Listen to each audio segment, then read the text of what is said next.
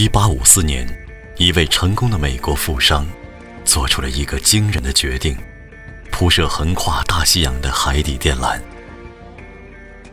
第一次失败，募资，改进；第二次失败，募资，改进；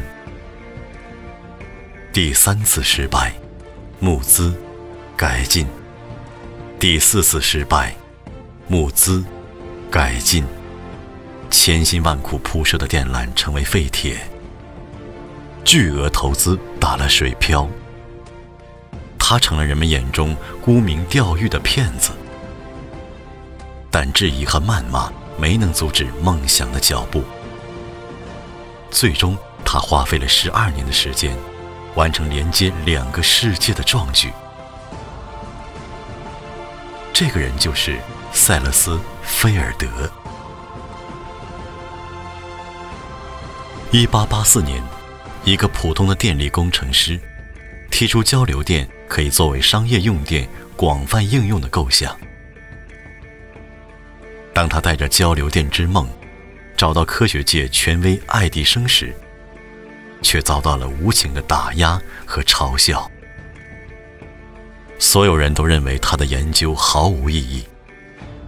然而，在1893年哥伦比亚博览会上，这位不被看好的年轻人用交流电点亮了全场，证明了交流电的安全性和可靠性。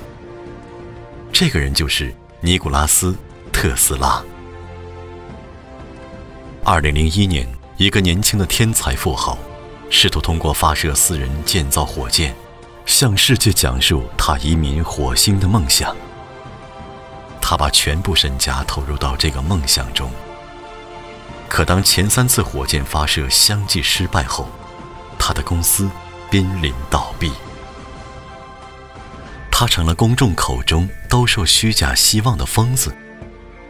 但正是这个人们口中的疯子，在2008年9月28日，将世界上第一枚私人建造的火箭“猎鹰一号”成功送入了太空轨道。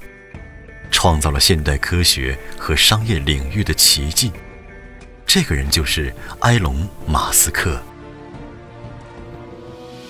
没有一个伟大梦想的实现，不曾经历过九死一生的历练；没有一个为社会创造重大价值的壮举，不曾经历过百折不挠的坚持。今天，让所有微智人也以为豪的。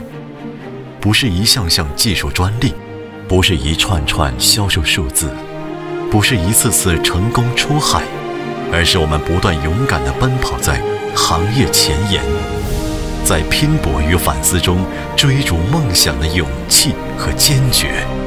走在梦想的路上，跌倒又怎样？那些连夜敲出的代码，天未亮就迈出的脚步，一次又一次倒时差的飞行。记录了我们永不服输的倔强。现在的位置，也许还不是最好的位置，但微智人将在奔跑中